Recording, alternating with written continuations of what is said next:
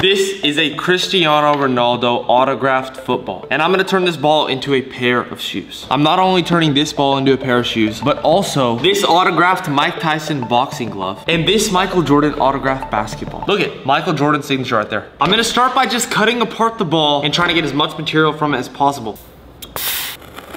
I started with the half of the ball that didn't have the signature on it just so I could learn and in case I messed up, I wouldn't be ruining the signature. Also, I'm giving away all three of these pair of shoes that I make today on Whatnot, which is the sponsor of this video. Thank you guys. September 21st, I'm gonna be live streaming on the Whatnot app and choosing three people watching to win these three pair of shoes.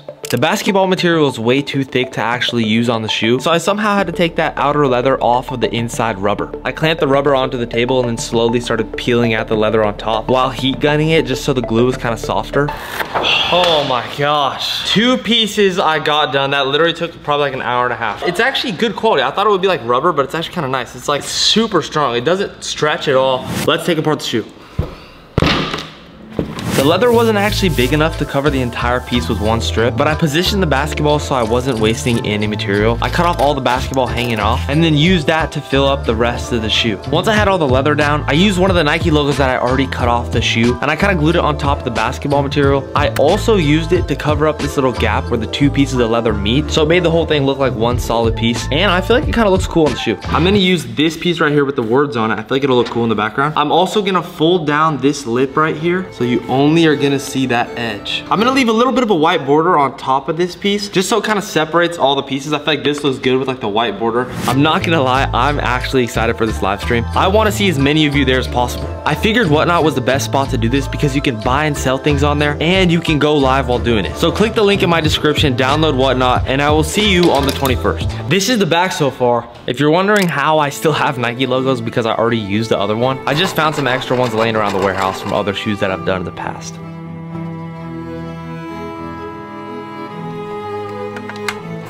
This thing is gorgeous so far. This is actually beautiful. Also, when I put it back on the shoe, it's gonna look so good. On the toe of the shoe, which is like the main panel, I want to have half the signature there and then half the signature on the other shoe. This is all the value right here. Okay, so I'm pulling this off and look what I just noticed. I don't know if you can see that, but the, there's a little silver on my knuckle. That's from the signature. You can kind of see what I was talking about right there. You see that smearing? Oh man, it's really on there. It's still fine, but it's a good thing I noticed it. Just wanted to, just wanted to let you know about my struggles. Now I can put this part on the front of the shoe. Since the signature was somehow coming off my finger a little bit, I sprayed it over with a clear coat just so it wouldn't smear anymore and it'd stay perfect. Then I glued that to the toe box. And when I had the little gap from these two pieces this time, instead of using another Nike logo to cover the gap, I got this super thin piece of black fabric, which I'm gonna cut out a super small strip of and then glue that right in between those two pieces, kind of to look like this part of the ball where the ball is like has the black lines on it. I used the inside softer part of the leather. Even though the outside looks more like the original basketball, I feel like it just looked way cooler if it's like soft suede. Before I put it on the sewing machine, I used this little stitching punch to make sure all my stitches were perfectly even. It's usually fine without it, but I feel like I noticed when I have the holes perfectly lined up, it always just looks a little better. I punched all the holes in the toe box and then I kind of noticed that you could see through the little holes. So I used the bag that the basketball came in and I cut out a small piece of that to glue under the basketball material. So when I put it on the shoe, all the holes were black and you couldn't see through them. After I sewed that piece, it was time to do the tongue. I cut the stitchings on top of the tongue so I could fold it back and put a little piece of basketball under that. And then I sewed that back together, glued the tongue onto the piece I just sewed. All right guys, I'm done with the shoe. Let me know what you think. I'm kind of going for that different vibe with these. If you guys win these, are you gonna wear them? I'm actually curious. Obviously the shoes are made to wear. It's like a shoe, but I feel like I'd rather see them in one of your like rooms, like on the wall. I don't even know. This piece is like the Jordan logo from the original shoe. Now they're gonna collab. Oh my gosh. Oh yeah. What do you think so far? I love it. I like it better than your other basketball shoe, that's for sure. Oh yeah. That's actually true. That one was a little clown shaped, but it was cool still.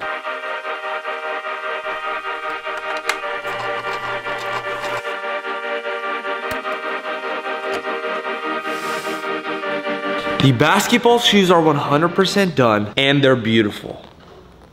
Check them out.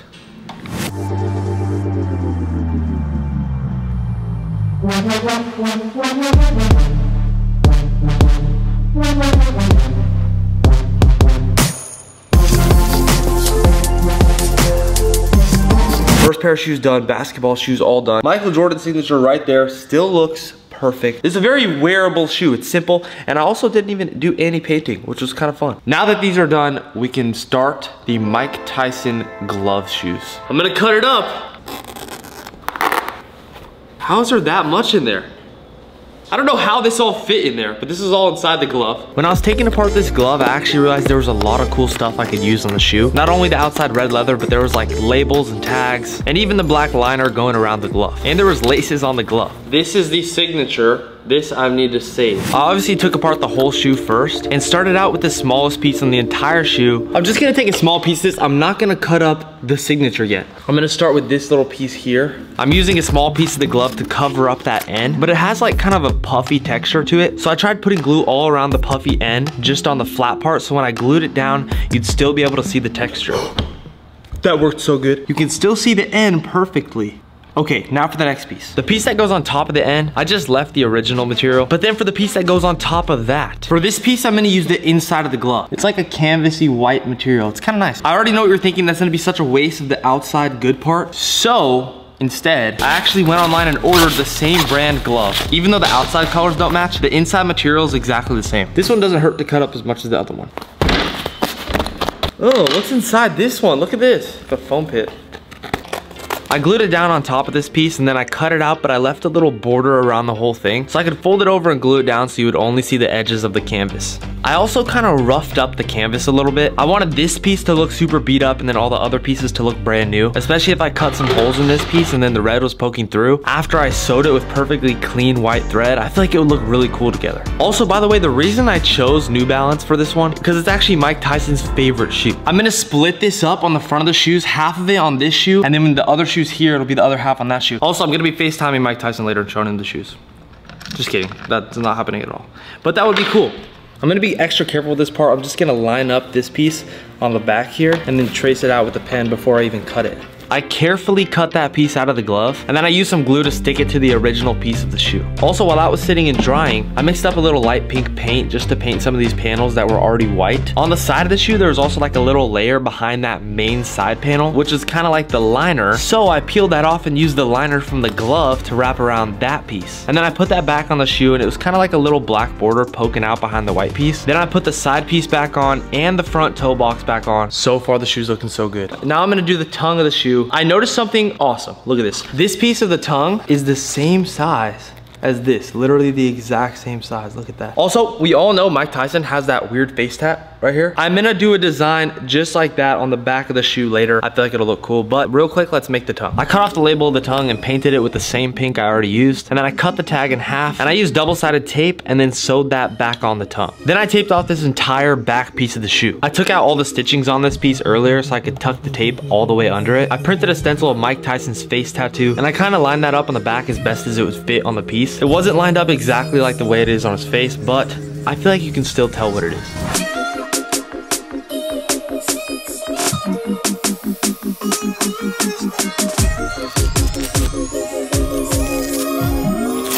That turned out awesome. I need to touch it up obviously, but that looks so good.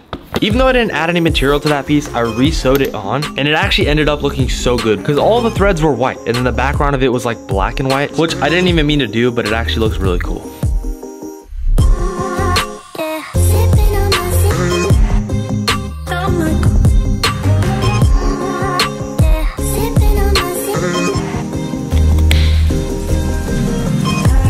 I thought the last ones were perfect, but I think I like these better. Take a look. These are pretty cool.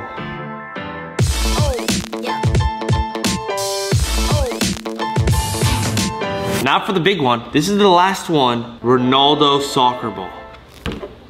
I'm just gonna start by cutting this apart and then we'll make shoes out of it. Oh my god, that smells like Ronaldo. This is nice. It's like a leather soccer ball. It's kind of lit. This is the inside of the ball. Looks like one of those swim caps. This is the material of the ball. Look at it. It's like really thick. For this pair of shoes, I chose to do some Air Max 1s. First thing we gotta do is take apart the shoe. I'm gonna remake all these pieces out of my football soccer ball. I'm gonna start with this inside piece of the ball, the super thin rubber. After I cut the rubber, I noticed that the leather from the ball wasn't really flat. I tried my best to use like a little iron press and flatten it out as much as possible so I could cut the pieces I needed for the shoe. I'm also not only using the outside maroon for the shoe, but also the inside canvas material. I feel like it actually looks good together. I just bought this fabric. Look at this. I was gonna use this fabric to replace all the white mesh that was already on the shoe. The texture of this material is like a little bit different, more like a woven pattern, kind of similar to the canvas from the ball. Also, this is obviously a Cristiano Ronaldo ball. So I printed some stencils that said CR7 and I sprayed those on that back piece of fabric with like a light fade of black. Now I can use this rubber, this piece, I've been, I've been excited to use it. I'm gonna wrap it around, kind of like what I did on the Mike Tyson shoes. I'm gonna wrap this around this scrap piece of leather, so just the edge is showing. And it's gonna poke out behind the edge of this. At this point, the shoe was honestly looking so good. This was definitely the hardest material to work with, but I think the colors looked the best. I took the whole body of the shoe and stitched it all together before I attached it back to the sole. Look at how this place looks now, by the way. It's just such a mess. There's so much stuff on the floor. When I started stitching the body back onto the sole, it didn't work out exactly how I thought. Okay, something is wrong. Something about this part looks weird. I don't know. I think I'm gonna have to redo it. It sucks because I probably have to take apart this whole back part, but I feel like everything else looks so good. Damn. I did decide to rip off the entire sock liner. Even though I love the stencils I did, I knew it could look a little better. I also started on the second shoe. Instead of taking the whole first shoe apart, I just started on the second one with the new plan. And on this one, I also used the actual Ronaldo signature because I didn't put any of that on the first shoe. So I just used the whole signature on that main side piece so I didn't cut it up at all. Right there on the side. This is definitely the hardest one. I spent the last four days just trying to figure out how to use this stuff. And this is all I have left too. Also, my new plan was pretty much just put the original sock liner back on the shoe. So it obviously just have the exact same shape as the original shoe. Also, don't forget, September 21st, I'm gonna be live streaming in the area, walking around with all three pair of shoes and just choosing someone in the live stream watching to win the shoes. If you like any of the shoes you see and you wanna win them, just join the live stream, download whatnot, first link in description, be ready for the stream. Hopefully I see you guys September 21st. Here's the thing about these shoes though, okay? They're different. This one has the Nike logo on it, but I don't know which one I like better. It looks clean. I like the white stitches on the black part. Three pair of shoes, 13 days. And these took the longest by far. I think these look awesome. I like this one more. I don't know which one's my favorite, but all three are done. Hopefully I see you guys September 21st on the live stream. So download whatnot and be ready for the 21st. Thank you so much for watching. I love you guys. Let me know which pair is your favorite.